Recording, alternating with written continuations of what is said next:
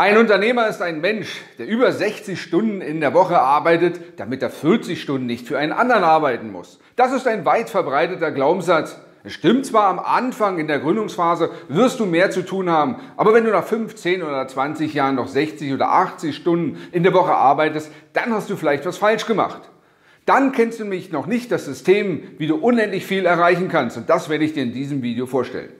Mein Name ist Daniel Schäfer und ich bin nicht nur Coach und Berater, sondern selbst auch Gründer. Ich habe auch aus einem Wohnzimmer heraus angefangen, schließlich eine zweite Wohnung hinzugebucht, dann ins Büro gewechselt, immer mehr Mitarbeiter und dann auch Führungskräfte eingestellt. Und da kenne ich dieses Prinzip, wie du unendlich viel erreichen kannst aus der Praxis, auch für deine Praxis. Stellen wir uns folgende Ist-Situation vor. Du bist Gründer, Unternehmer, fängst vielleicht alleine an als Selbstständiger oder als Solo-Unternehmer und hast auf der anderen Seite dein Ziel, deine Berge, die du abtragen willst. Und das kann schnell mal einschüchtern, wenn man so ein 3, 5, 10 oder 20 Jahresziel sieht und diesen riesigen Berg an Aufgaben.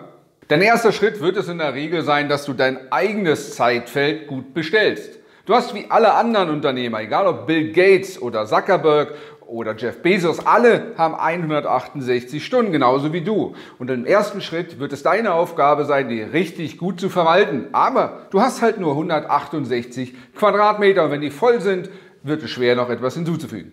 Aber eine großartige Möglichkeit, die du hast, bei immer mehr Menschen, die es auf der Erde gibt, dass du dich in die Zeitfelder anderer Menschen einkaufst. Das heißt, du suchst dir Assistenten, Mithelfer, Teampartner, Geschäftspartner und hast von jedem vielleicht 10 oder 20 Stunden zusätzlich in der Woche zur Verfügung.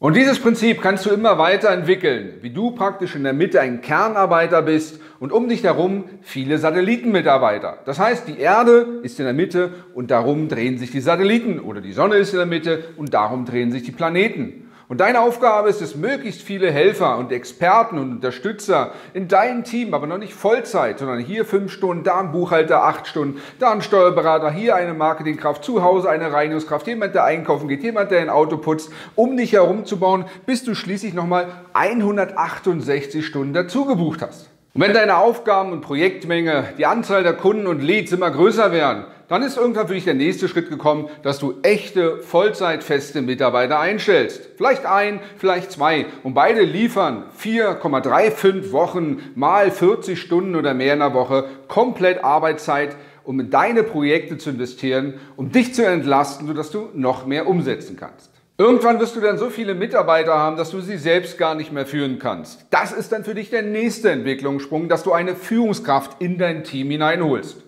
Du hast also ein Team, was von einer Führungskraft geleitet wird und dich noch mehr entlastet. So hast du noch eine Stunde oder vielleicht zwei Stunden in der Woche als strategischer Berater, als Geschäftsführer oder Inhaber zu investieren, um mit deiner Führungskraft die nächsten Schritte zu besprechen. Und diese Führungskraft setzt diese Projekte und Aufgaben mit seinem Team um. So hast du also fünfmal 168 Stunden und hast selbst vielleicht nur eine Stunde pro Woche investiert. Und beim sechsten Schritt ist es sogar schon so weit gekommen, dass du so viele Aufgaben, Projekte und aber auch Teammitarbeiter hast, dass du nicht nur eine Führungskraft hast, was sich um ein Team kümmert, sondern du hast vielleicht schon Führungskräfte, die sich um andere Führungskräfte wiederum kümmern, die jeweils ein Team führen. Das bedeutet, jedes Team liefert dir vielleicht 500 oder 1000 Stunden zusätzliche Zeit, in dem Projekte und Aufgaben abgearbeitet werden, die zur Erreichung des Gesamtziels führen, die praktisch mit dir gemeinsam diesen großen Berg an Projekten und Aufgaben abtragen. Auf der einen Seite gibt es hier, wenn du genau überlegst, nach oben welche Grenze. Keine Grenze, völlig korrekt. Und trotzdem machen es so wenig Menschen. Trotzdem trauen sich so wenig Menschen zu und setzen es auch um, solche Teams und Führungskräfte aufzubauen, die gemeinsam Schulter an Schulter über Wochen, Monate und Jahre große Projekte abtragen, große Berge umsetzen und die Ziele erreichen. Und die Frage ist jetzt, warum ist das der Fall? Der Grund dafür ist relativ simpel. Es ist der Hauptfehler, den die meisten machen, wenn sie in die Wirtschaft eintreten. Die meisten wollen erstmal etwas bekommen, bevor sie etwas gehen. Die gehen zur Bank und sagen, ich möchte ganz gerne Zinsen haben. Und wenn der Banker fragt, wo denn das Geld ist, dann sagt man, das bringt man später vorbei. Und wer diesen Fehler macht beim Teamaufbau, wird diesen Erfolg niemals umsetzen können. Dieses Ergebnis, dieses schlagkräftige Team niemals in seinem Team haben.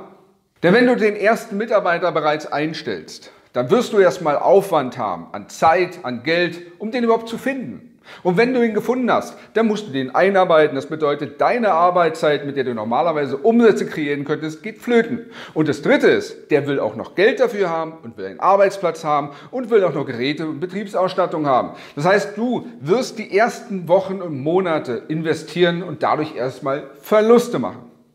Und je nachdem, wie dein Unternehmen aufgestellt ist hinsichtlich der Produkte, der Dienstleistungen, der Wertschöpfungsprozesse, kann es zwischen drei bis 36 Monate dauern, bis ein Mitarbeiter sich selbst trägt.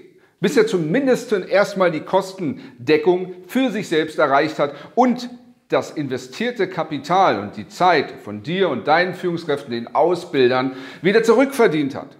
Und dann hast du ihn fertig ausgebildet nach ein, zwei Jahren und er kündigt. Auch das ist in diesen Verlusten und diesen Kalkulationen mit zu berücksichtigen. Das bedeutet also, egal ob du einen Mitarbeiter oder Führungskraft hast, in jeden hast du am Anfang investiert. Zeit, Geld, Betriebs- und Geschäftsausstattung, alles, was er braucht.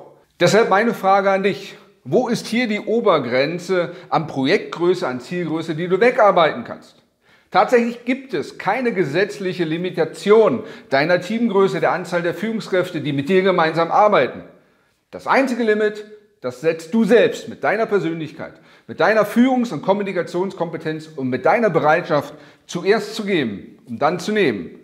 Erst zu investieren, um dann Rentabilität zu erwirtschaften. Erst zu sehen und dann zu ernten.